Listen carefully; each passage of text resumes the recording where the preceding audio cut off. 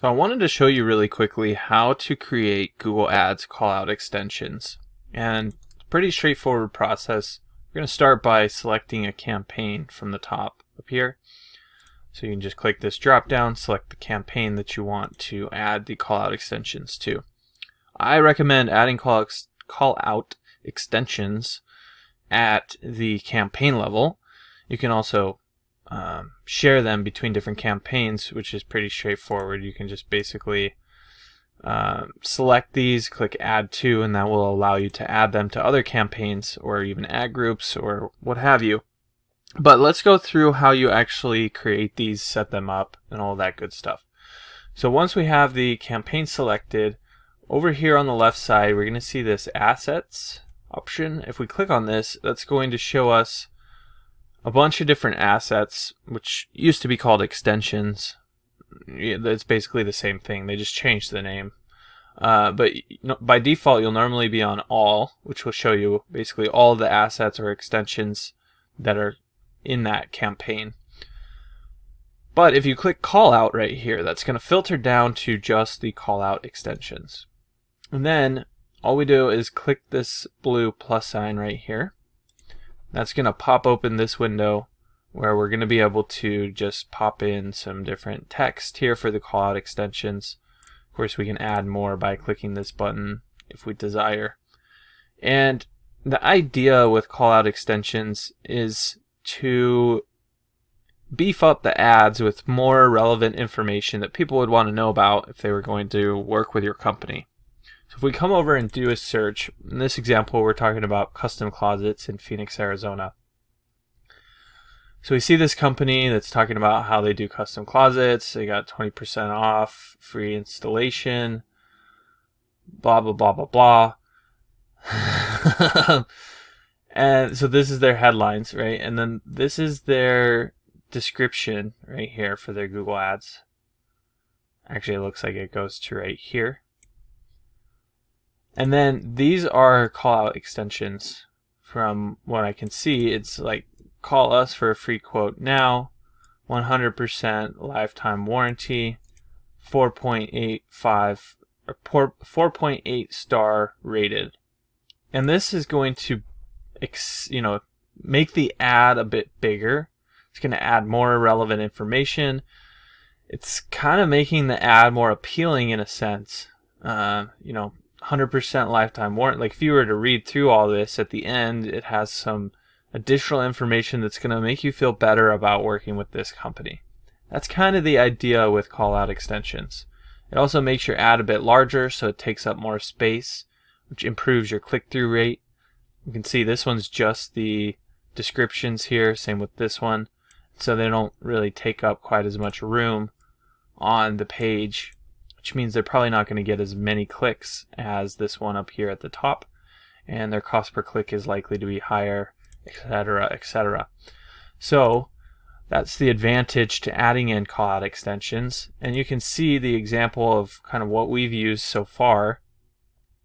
Locally owned and operated, free estimates, professional crew, competitive prices, fast and friendly, superior service, save 40% on service today. And we can add more. I think you can add up to like 15 at a time, something like that. Uh, but I think the more the merrier. So long as you're not starting to get irrelevant with them, like just stuffing it with different stuff that's almost the same or what have you.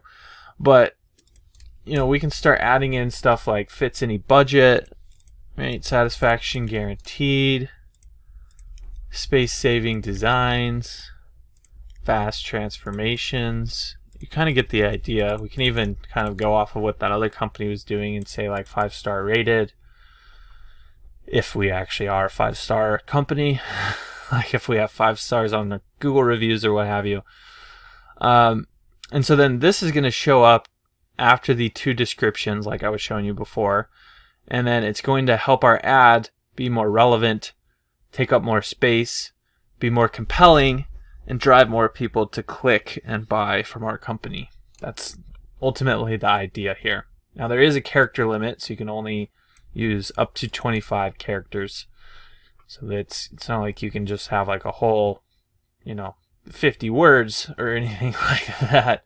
Um, and then you can add these at the account level, the campaign level, or the ad group level. I recommend doing it at the campaign level. There may be some instances where you'd want to do it at the ad group level. But typically at the account level,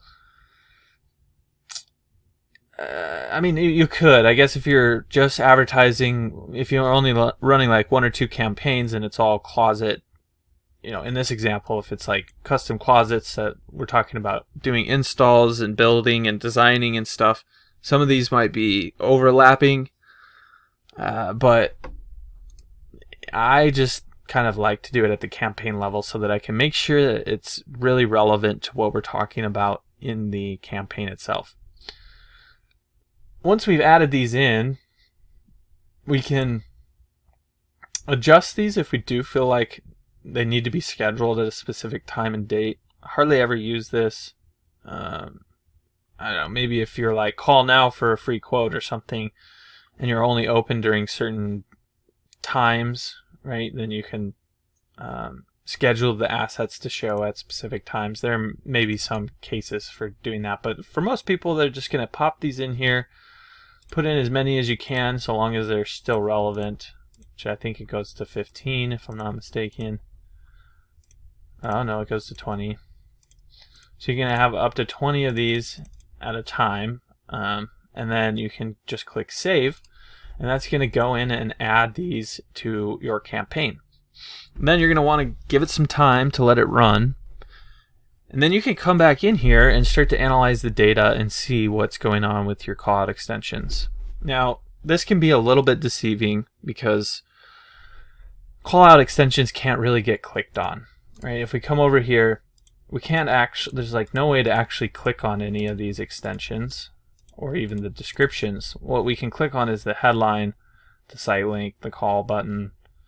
Uh, we can click on the URL, basically this whole section up here. Um, but we can't click on any of this stuff.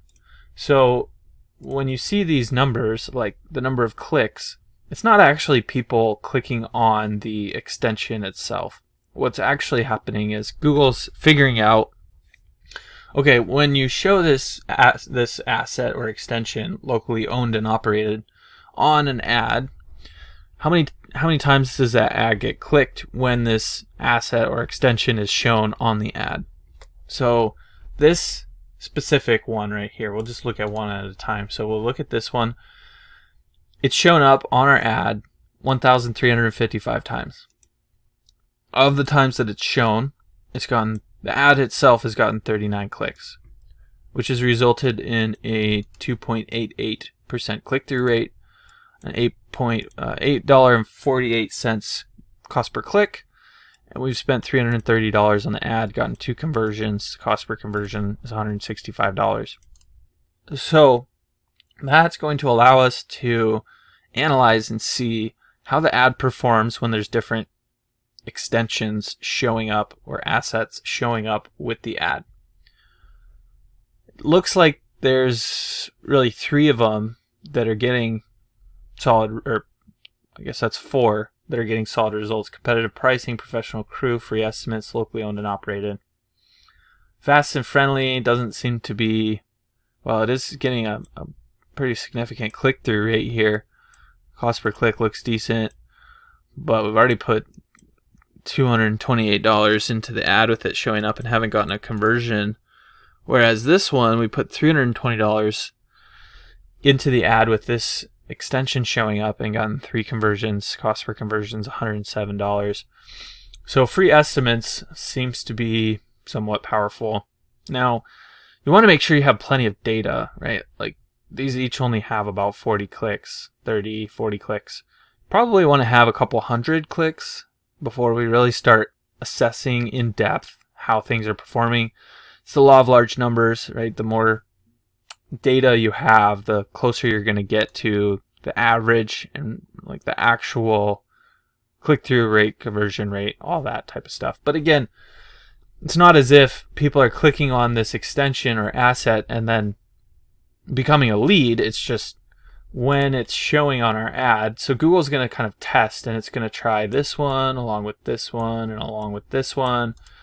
and figure out over time what's actually getting you the highest click-through rate, the best conversions, etc. And then you can you can come in here like say we decide that this one is not performing quite as well and because we're adding all of these new ones uh, we we just don't really need to use this one anymore then we can just click this little drop down next to the green circle here click pause and test some different callout extensions to see what's going to perform even better so that's kind of the 500 foot view on how to create Google Ads callout extensions. I hope you found this helpful. If there's anything you did have questions about, don't hesitate to reach out and just drop your questions in the comments section down below, and I'll be sure to get back to them there.